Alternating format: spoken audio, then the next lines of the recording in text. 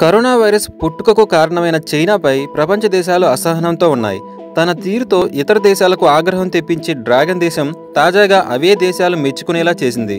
ప్రపంచంలోనే అత్యధిక జనాభా కలిగిన చైనా టెక్నాలజీతో ప్రయోగాలు చేయడంలో ముందుంటుంది. అలా అత్యాధునిక సాంకేతికతను తన సొంతం చేసుకుంటూ అగ్రరాజ్యం అమెరికాను సైతం వణికేలా చేస్తుంది.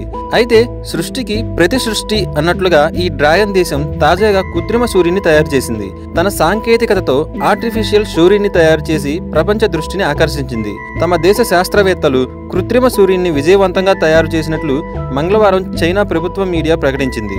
ఈ సూర్యుడి పేరు HL two M tokamak reactor.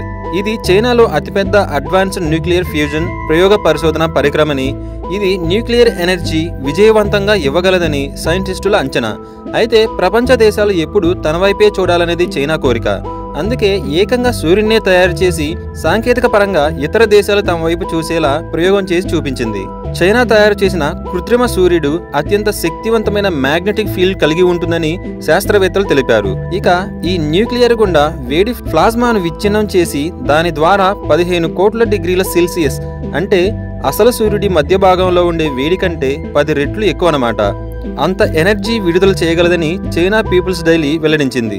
ఇది ఎక్కువ పవర్ రిలీజ్ చేస్తున్నందున దీన్ని ఆర్టిఫిషియల్ సన్గా పిలుస్తున్నట్లు స్పష్టం చేశారు. అయితే సూర్యుడి పరమాణు కేంద్రంలో విపరీతమైన సూపర్ పవర్ ఉంటుంది.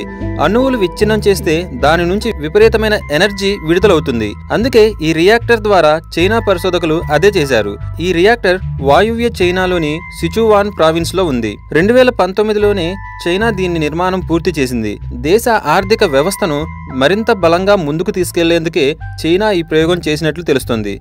రెండు వేల ఆరు నుంచి ఈ న్యూక్లియర్ ఫ్యూజన్ రియాక్టర్ తయారీపై చైనా సైంటిస్టులు దృష్టి పెట్టిన విషయం తెలిసిందే. ఈ నేపథ్యంలో ఫ్రాన్స్ కూడా ప్రపంచంలోనే అతిపెద్ద న్యూక్లియర్ ఫ్యూజన్ రియాక్టర్ తయారు చేస్తోంది. అది రెండు వేల ఇరవై ఐదు నాటికి పూర్తి కానుందని ఫ్రాన్స్ సైంటిస్టులు భావిస్తున్నారు.